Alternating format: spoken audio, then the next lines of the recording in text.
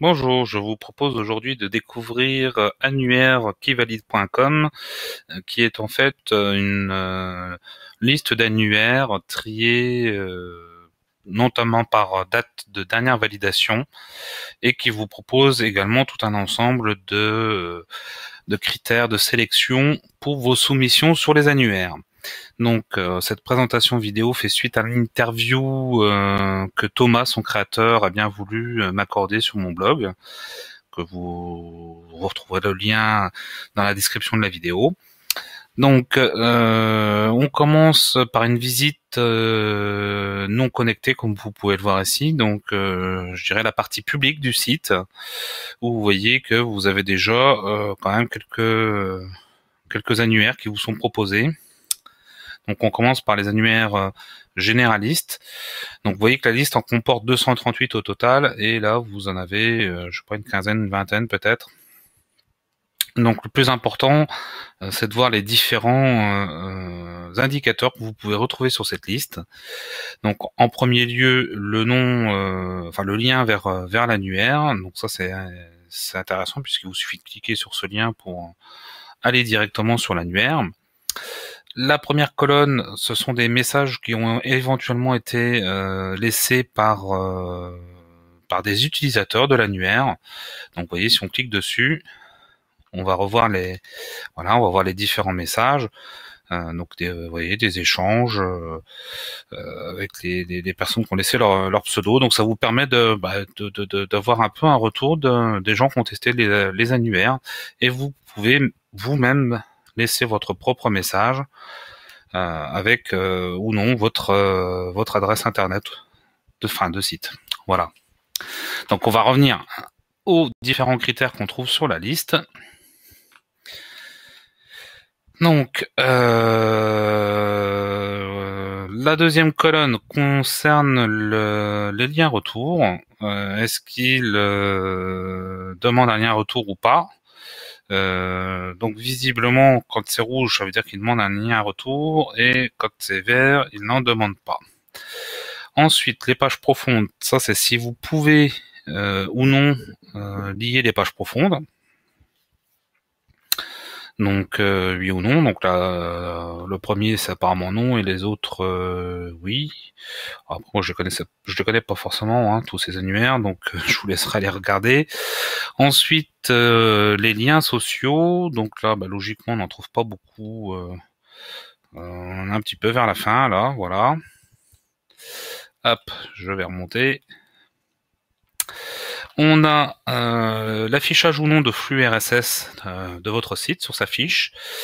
Euh, ça, c'est cette colonne, c'est si c'est un site de communiqué de presse, soit à la place ou en plus de l'annuaire.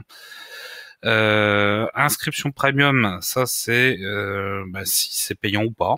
Voilà, tout simplement. Alors ça peut être des fois, euh, il y a des annuaires où vous avez les deux. Vous avez inscription euh, payante et inscription gratuite. Euh, donc voilà. Ensuite le script.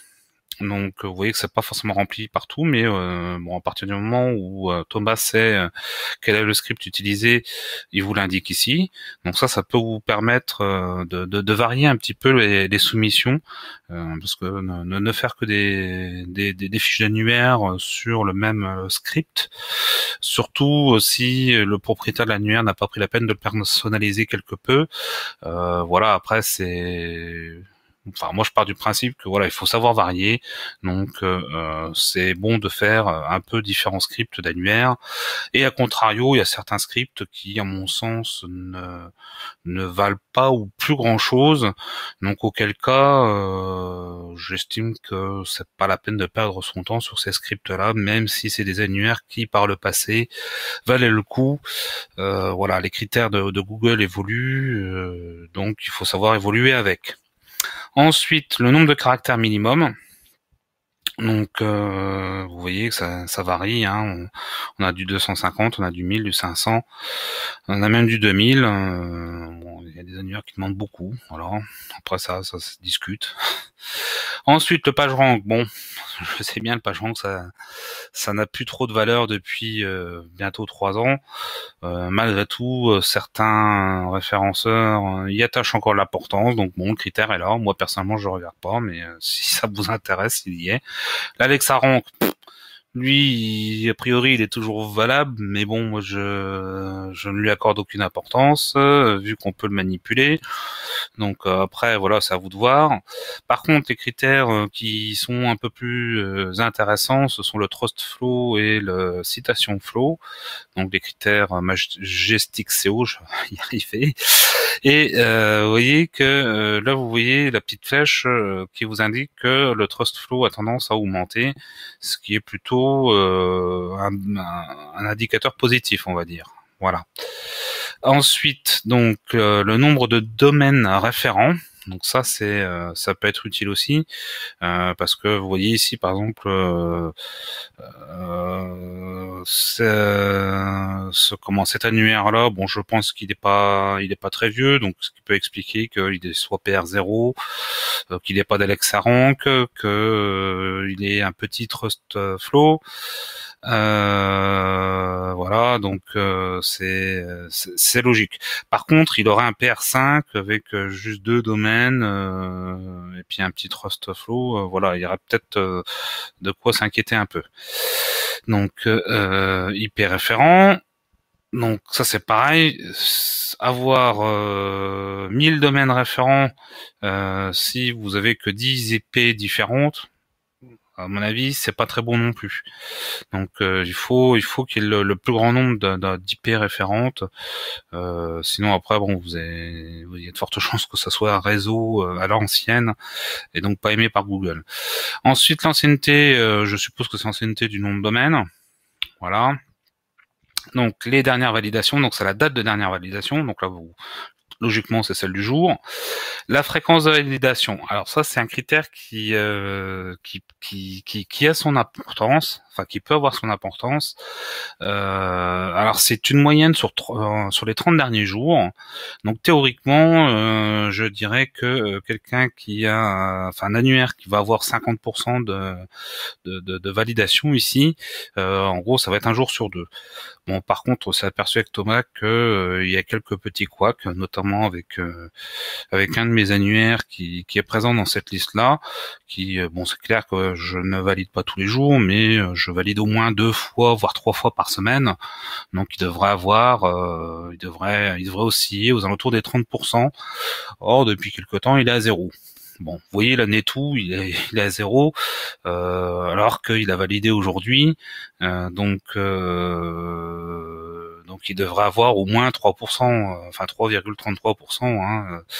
Bon, donc là, c'est c'est ne vous inquiétez pas y a 0%, euh, surtout si la dernière validation elle est du jour, quoi, hein, du jour ou des, de, de, la semaine qui vient de passer. Ça, Thomas est en train, est en train de travailler dessus, euh, donc pour l'instant il n'a pas trouvé d'où venait le problème, mais euh, faites-lui confiance, ça va arriver. Donc ensuite les outils externes, alors là c'est pareil, je, moi ça, ça ça fonctionne pas en général, donc je sais pas pourquoi. Euh, c'est pareil, il est en train de travailler dessus, mais vous voyez qu'il est prévu de pouvoir avoir accès donc euh, à différents outils dont il y a Majestic euh, Majestic SEO, voilà. Ici, vous avez la possibilité de contacter directement le webmaster de l'annuaire quand Thomas arrive à trouver son adresse mail. Et euh, ici, on vous indique si euh, vous recevez une euh, notification de validation par mail. Voilà, donc on a fait le tour des critères. vous voyez que si vous vous souvenez pas à quoi correspond un critère, vous suffit de passer la souris dessus et vous avez l'infobulle qui s'affiche. Donc ça, c'est très très bien fait. Voilà. Donc là, on a vu en début les annuaires généralistes et après vous avez les annuaires donc euh, thématique. Donc là, c'est local, régional. Ensuite, vous avez art, culture et tendance. Vous avez artisanat, entreprise, automoto et transport, le charme. Ça, ça devrait intéresser quelques-uns. Euh, économie et finances, enseignement et formation, ésotérisme, voyance et astrologie, gastronomie, restauration, immobilier, informatique et webmastering. La catégorie jeux, rencontres, santé et bien-être, senior, sport, vie pratique et divers, voyage et tourisme. Et on a fait le tour. Et là, vous retrouvez donc la légende en, de, des différents critères avec quelques petites explications. Donc là, je vous laisse regarder en détail. Et vous pourrez remarquer que Thomas euh, n'a rien à cacher puisqu'il indique clairement le nom de sa société, son adresse, vous avez le numéro de sirène. Voilà.